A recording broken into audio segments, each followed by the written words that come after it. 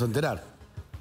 ¿No? Los empleados que están contando lo que está pasando y lo llevaron a las autoridades están haciendo el bien, ¿eh? Vamos a hablar con el ministro de Justicia. Ya estoy Gracias. hablando con él. Vamos a profundizar algunas cuestiones. Gracias por venir, ministro. No, es un gusto estar con ustedes. Yo pensaba recién, usted decía, donde tocamos hay pus. Esta imagen es como parte Esto es tremendo y te doy un dato adicional. Esos jóvenes que están presos, para llegar a estar presos, tienen que haber cometido delitos graves. Estás hablando de robo con armas consumado, asociación ilícita, violación, los peores delitos. Si no, no estás en esa situación. El régimen es más permisivo. Por eso, un proyecto que tenemos que con Patricia Bullrich, espero poderlo en estos seis días concluir, es el régimen de- penal de la minoridad. Tiene que cambiar sustancialmente. Ah, Esto justo- es una... un proyecto de ley que- Ah. Sí, sí, yo lo estoy trabajando muchísimo. Por, en cuanto a la, no solo en cuanto a, a la inimputabilidad en 14 años. De 32 proyectos que se presentaron, 30 tienen 14 años. O sea que hay consenso en A- eso. a ver, pero es más, vos tenés que establecer, no te sirve meterlo preso, te sirve un tratamiento en serio, no esta porquería. Claro, pero- Esto es más crimen. Claro, pero a ver, eh, no sabíamos que tenía un, un proyecto que tenía que ver con esto, pero el proyecto sube la edad de imputabilidad. No, la baja de La baja, 14. la baja, perdón, la baja a 14. a 14 años. Exacto, por lo que Hoy yo decía 16. antes, hoy está en 16. El chico de la ley de 1980 que nos rige, de, de 16 años, no es el mismo chico de hoy. El de 14 de hoy vuela teléfonos, delincuencia. Yo he recortado de los diarios más de 25 artículos solo de este año de delitos cometidos por menores de 16 años. ¿Y hay consenso para Eso iba a preguntar, ¿no? Porque Mira, yo creo que eh, de- yo estoy haciendo con un sistema más educativo, formativo, y pongo a cargo del Ministerio de Justicia, el Instituto de Menores, para hacerme cargo yo de, la, de, co- de esto, de esto y controlarlo yo, y si está mal es culpa mía, de- eh, eh, creo que hay consenso de que hay que cambiarlo, pero nunca se ha hecho.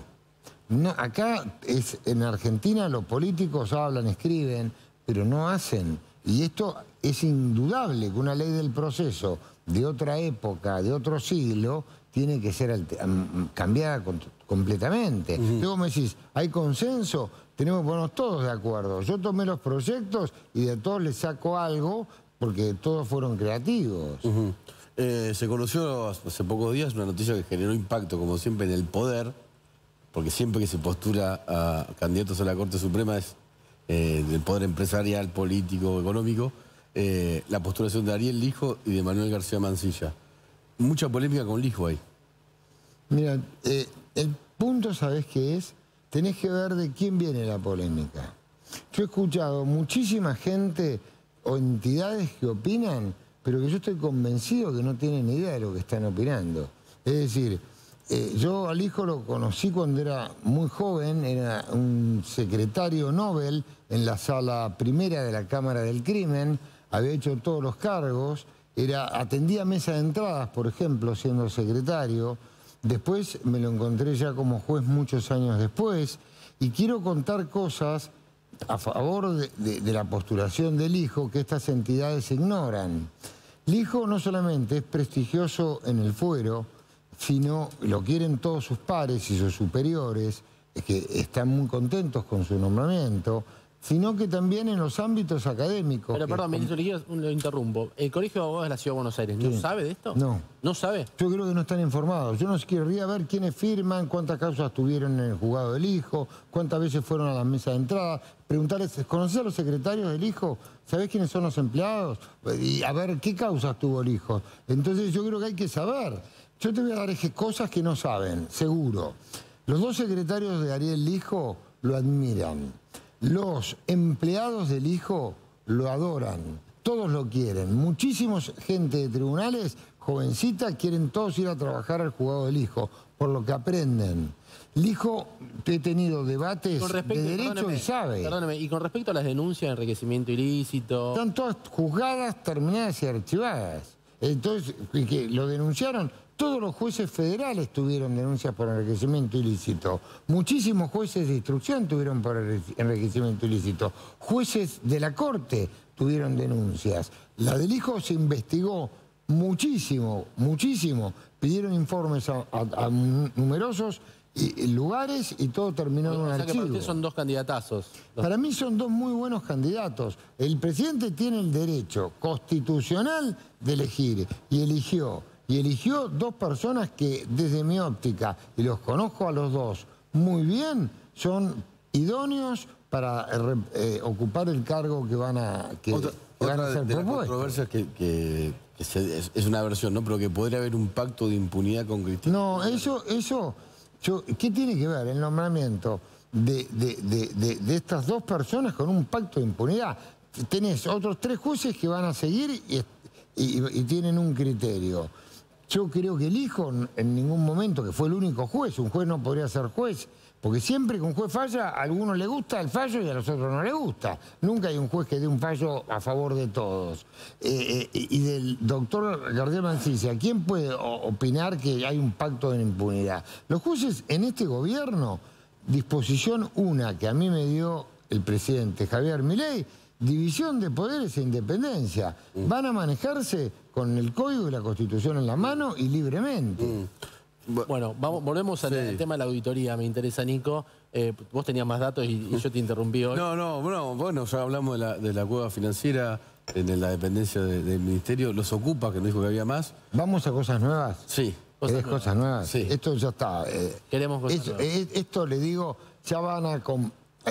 a ver si alguien colabora con la implementación del sistema federal. Bestseller, las cosas que hemos visto con foto y video. Pero no, vamos a Está todo cosas nuevas, bastante. Vamos a cosas nuevas. A ver.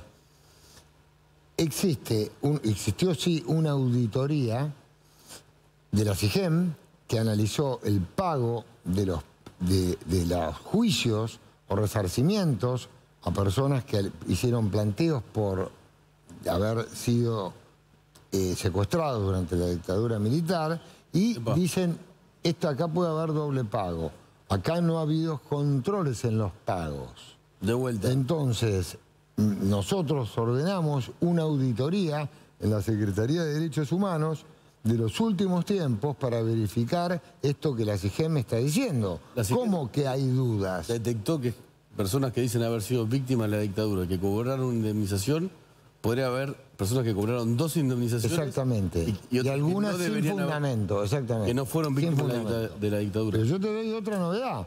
Hemos tomado conocimiento de una causa que está bastante avanzada, con auto de procesamiento confirmado por la Cámara, por el doctor Fara, de la Sala 2, donde hay una organización delictiva con nombres y apellidos, varias personas que falsificaban documentos u obtenían documentos de distintos organismos y solicitaban eh, resarcimientos y hay montones de juicios, algunos cobraron, otros no, y ahora nos estamos presentando en los juicios diciendo alto, no pague.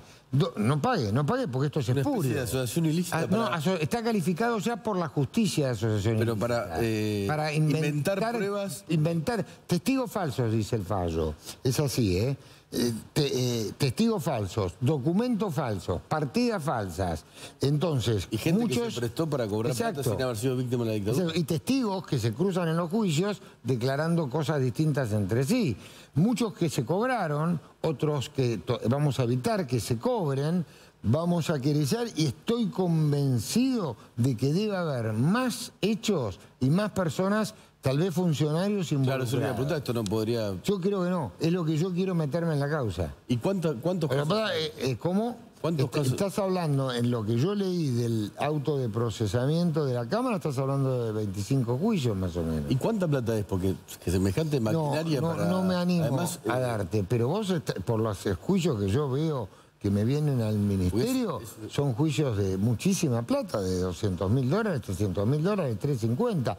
Yo tengo casos de eh, juicios de niños que nacieron en, el exilio, en París, en Suecia, en Madrid, que no, no, Tarzán que cayeron en la selva, y que reclaman por haber nacido en otro lugar distinto, y son juicios que cobran hasta 100 mil dólares. Eh, eh, es chicos que tal vez no volvieron a la Esto no, Argentina. es- esto no es minimizar lo que, lo que Son pasó. tres- 350 y, y 350 puede- y acá. pueden venir más. Que no deberían haber cobrado. A mi juicio no está probado que se le haya frustrado una relación de vida. Al contrario, tal vez tuvieron una vida digna. Algunos nunca volvieron a la Argentina y, y trabajan en Europa. Algunos no vinieron a ver a la abuela. Con todas al- investigaciones, sí. ministro, y las auditorías y demás, ¿recibió algún llamado de algún ex funcionario kirchnerista, del propio Alberto Fernández?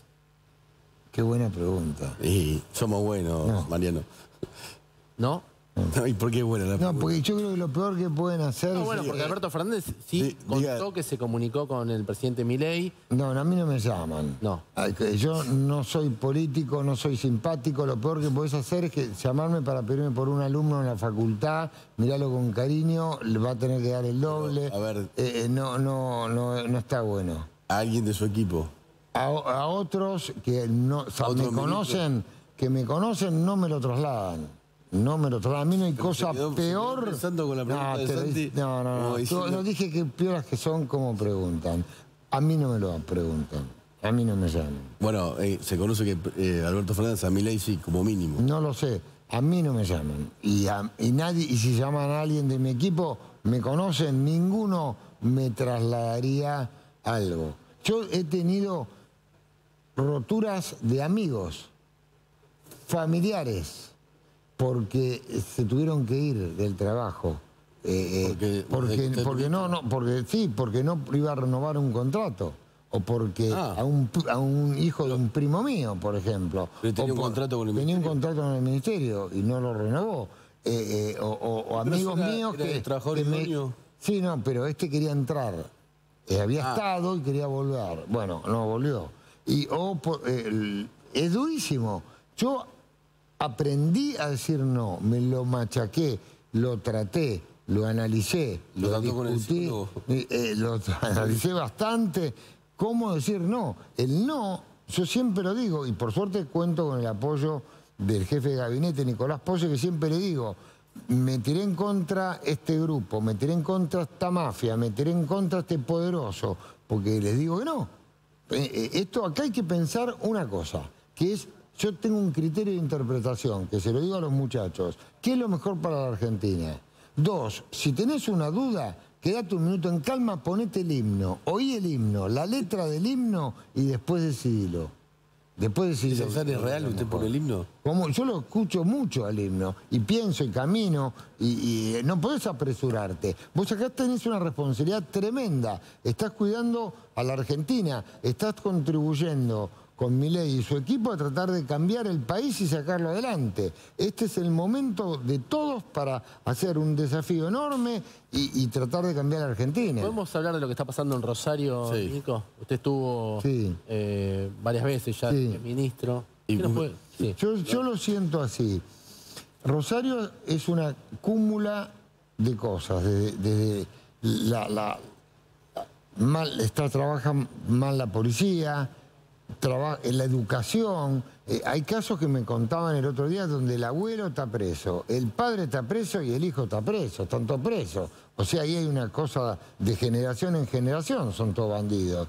Eh, después, después tenés una justicia que tiene que mejorar en el sentido de, gracias a este nuevo código, a ser más efectiva. Usted dice que Ten- los- tenés grandes El jueces. sistema acusatorio, los fiscales Sí. van a tener el poder. yo me he encontrado con muy buenos fiscales y muy buenos jueces y con el poder de los fiscales eh, en concentrarse en investigaciones con entidad, serias, graves, de delitos, de mafia y demás, va a ser mucho más efectivo. Llegan juicios a los tribunales muchos menos.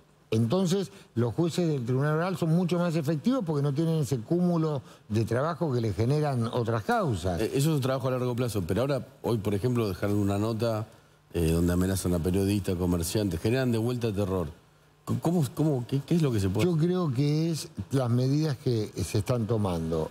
Ejemplo, nosotros an- hasta antes de asumir no teníamos ni una pistola de cevita, nada. Ahora se está adquiriendo, se están mandando eh, elementos de, defensa y de control idóneos.